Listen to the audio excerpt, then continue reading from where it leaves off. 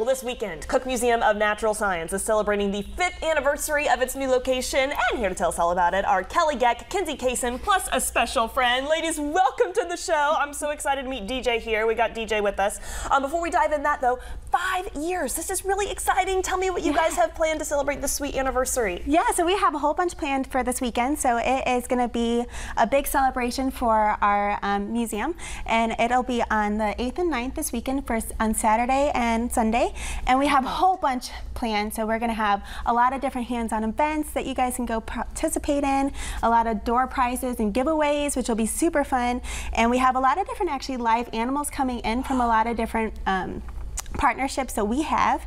And um, hopefully with the weather permitting, we'll have our outdoor inflatables. They'll be super fun to bounce oh, on, which is so much fun. We love a good inflatable. Yeah. That's fantastic. And then our members will also have a lot of double discounts that will be offered to them for the museum store and the nature's table. Okay, so wonderful. Yeah. Well, ladies, you also mentioned live animals, which of yes. course we have to tap in there. Yes. This is DJ, and I forgot what DJ, he has a weird, it's a weird species. yes, what, what uh, is he this? is a lizard and it is known as a common chuckwalla. Chuckwalla. Yes. I practiced that before I got air, and then I got a little nervous and I didn't want to hard commit. So this is a chuckwalla. Tell me all about DJ here. Yeah, so DJ is an ambassador animal for the museum. He is five years old. He'll be six in August. Wait, he's just as old as the museum. Yeah, been right? there? Was he born there at the museum? He wasn't born there. Okay. He was maybe a year old by the Okay. time he got there. Yeah. yeah. Yeah. Yes, He's but lived he's his little life with there. us. Yes, Yeah. amazing color right here. Can you hold him up right there? That is fantastic. Yes. Are all do all of them kind of have this orange patch? The males are brighter than the female, so they, depending on which species of chuckwalla, they could be the orange, they could be more yellow, just depending on where they're from. Okay, Um, but and he the- is doing great. He's super chill with us today. yeah. Are they normally pretty pretty docile? Yeah, they're okay. pretty calm.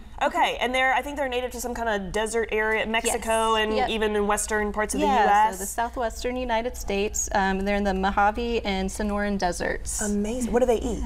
Um, they are mostly herbivores. Okay. Um, a lot of desert plants. Sure. Um, but you know, they they can also eat some insects as too. Wait, so fantastic. And it is in the iguana family. It looks just like an iguana. Yep. Probably smaller though, a little bit of a smaller yeah. smaller Yeah. species. Well, hey DJ, has he been on TV before? He's doing No, this fantastic. is his first time. This is his TV debut, everyone. And look how calm and fabulous he was born for the cameras. We are loving him. Of course, again, fans can meet him at the museum. Ladies, tell us one more time who you guys are, where you are, all that's going down again this weekend. We need tickets and kind of just a, ben- one big recap to be a part of this special special time. Yeah, yeah. So again, so we are on the animal care staff. My name is Kelly Gack, and this is Kinsey Casson.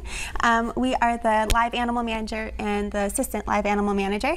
And this weekend, then we're going to have our fifth year anniversary for the museum, which is super exciting. So we are five years this weekend, and um, we're going to have a whole bunch of different stuff. All of our prices. Is that what you said? You want our prices? Yeah, or, or just we do need a ticket. It is a ticketed event. Yes, it is a ticketed so ticketed do event, be sure yes. to get your tickets in Yes, advance. please. Also, something else we wanted to mention: there's a big giveaway going on, a Decatur Huge. downtown experience. Yes, huge giveaway. So this weekend, then um, you can actually go online and you can enter into it. And there's going to be a whole bunch of stuff that the museum's giving away where we are going to um, offer out where they'll be able to have one night at the Doubletree Hotel down, downtown.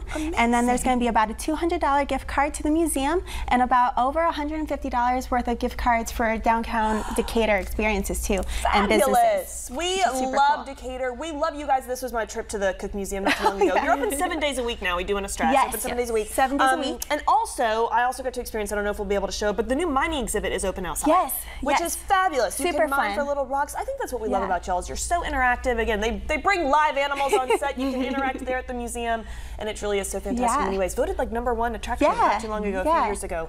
And Um, that's actually because of our new exhibit, the mining sluice. That's actually why we brought DJ because he is our little ambassador for all of our rocks and deserts out there. So He's fabulous in every way. TV star by day, a mining ambassador by night. It's so perfect. Give him a raise. I don't think Yeah. he gets paid anything, but maybe pay him a little something. Ladies, thank you again so much for coming on. Hey, Yeah. huge congratulations for five years. That's going to be a big deal. So it'll be y'all have fun. fun this